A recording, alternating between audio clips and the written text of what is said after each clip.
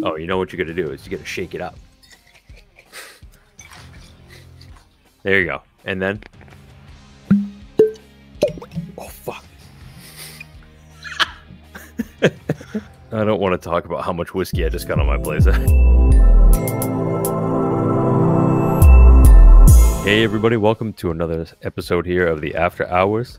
We have just finished up recording, which means we are technically in the After Hours segment of the evening. We're going to do a little tasting for you tonight, do a little uh, review here. We've got a new bottle that we just popped open. This one, I think, is either just about to hit the shelves or has just hit the shelves. This is the Penelope Bourbon Rose Cask finish.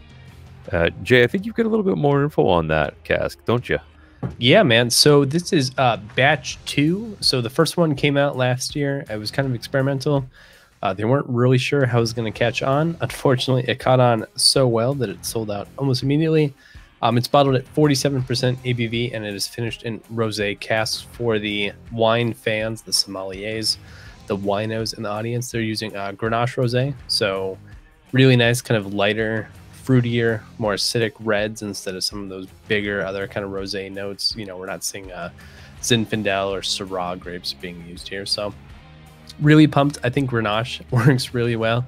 I think Grenache is kind of understated. It's underappreciated as a wine grape. I love Grenache, especially French Grenache. But uh, Grenache Rosé, uh, the cask being used for here, they're not saying how long specifically, um, other than the fact that it's an extra two years. So it's getting a two-year finish, which is pretty hefty, um, and then it's going into a to wine cask. So, you know, it's kind of the uh, the scoop on batch two of Rosé cask. But I'm curious because did you did you try batch one? Is this your first? Batch? I didn't. Yeah. Okay. I did not try batch one, so it'll be nice to dig into this and have a, a first impression here compared with your experience with last year's batch. So we'll get a little bit of each here.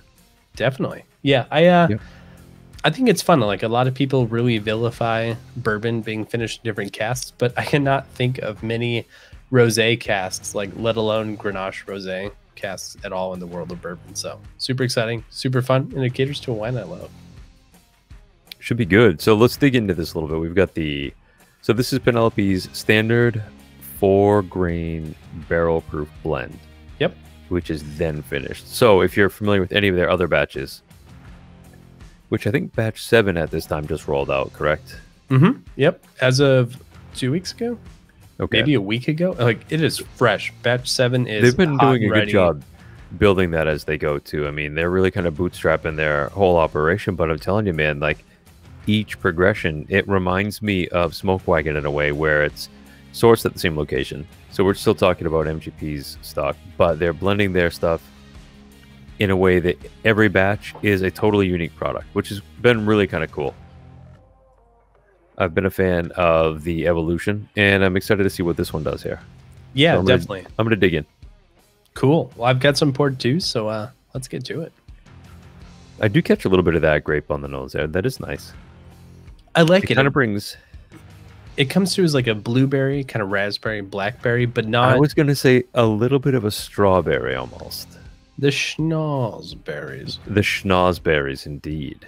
Yeah, but I mean, I still get that like core Penelope background with a little bit of that high corn in their four grain mix, and it, it kind of works together nicely.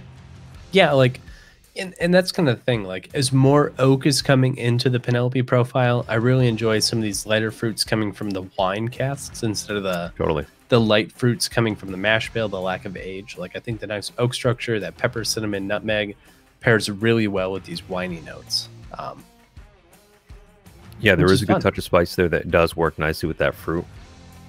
It plays really nice on the nose, so there's a little touch of vanilla in there that works that like mhm. mild red fruitiness. And on the palate, I'm just amazed. It's like raspberry cream, strawberry cream, peaches and cream, and then like Yeah. a nice nougat note. So it's sweet, not too sweet, fruity, not too acidic, which is always kind of a question with wine. Like the body is there, and then a nice sweet finish with like a little bit of pepper. Yeah, it does have a little bit of spice on there. It balances the finish. Yeah. It doesn't lean too far one way or the other. That cask influence actually doesn't like doesn't really take over. It's not driving the whole bus. Yeah, Everything honestly, is kind of yeah, working yeah. in concert there, which I I really appreciate. I don't like when something gets too far one direction, or like you know, either when the finish is doing all the work, or if it's doing almost no work. And I think this is a pretty good balance. Yeah, and this this kind of highlights something for me with American whiskey, where like sherry finishes, Oloroso sherry finishes, big wine finishes are sometimes tough, but then on the other side, we're seeing kind of meek finishes, like the Thomas Moore Chardonnay. Like I don't like the finish doesn't really belong. Like it doesn't work for me. And this is the first kind of opportunity that we see rosé cask, which I think works really great because rosé has a tiny touch of tannin influence. It's got that skin contact, you know, it's got a little bit going for it. It's got a little bit of acidity, a little bit of sweetness, a little bit of fruit. And that's exactly what bourbon needs. Like bourbon needs that little extra structure, that little extra acidity, a little extra fruitiness that's not cloying or sweet. And I think that just plays like really well here. Totally. Yeah, I dig this. I think they've done a good job with it. It's a good blend, and it's finished nicely. And I mean, 47%, I think that's really great. Like, you know, 50% probably would be ideal if you wanted to like cocktail with this, but I don't see this working really well in any specific cocktail. I think pour this at 47, it's going to hold up well. It's got nice structure and nice body. It's not thin. It's not, you know, going to blow someone's head off. And I think that this is uh, probably like the best gateway to bourbon, you know, that's kind of wine finished. Maybe, you know, this could kind of duke it out with Angel's Envy, but I would take this over Angel's Envy any day.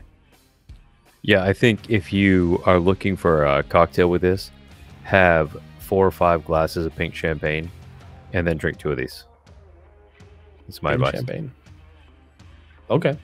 I mean, I could take it. I think people unfairly assume that rosé is is like girly Sunday brunch wine. Rosé can have amazing character to it, and I think picking really good barrels that held rosé um, is the key to why this works so well. So I think if, even if you don't love rosé, give this a shot because this is so like this is kind of like white Zinfandel, which is pink and sweet. Like doesn't exist. Like give this a go and then you'll know if you like rosé or not because like this is a really really nicely integrated uh, whiskey product Totally. So, hey guys, if you like what you see here, go ahead and subscribe. We're going to be dropping these episodes every Thursday. You can check out tastings, comparisons, and more with that. And if you want to support what we're doing here, you can get us on patreon.com slash the whiskey net. That's the whiskey net. And hopefully you get a bottle of this and enjoy it too, because damn, it's pretty yeah sweet. man batch two killer Love it. cheers y'all Cheers, guys.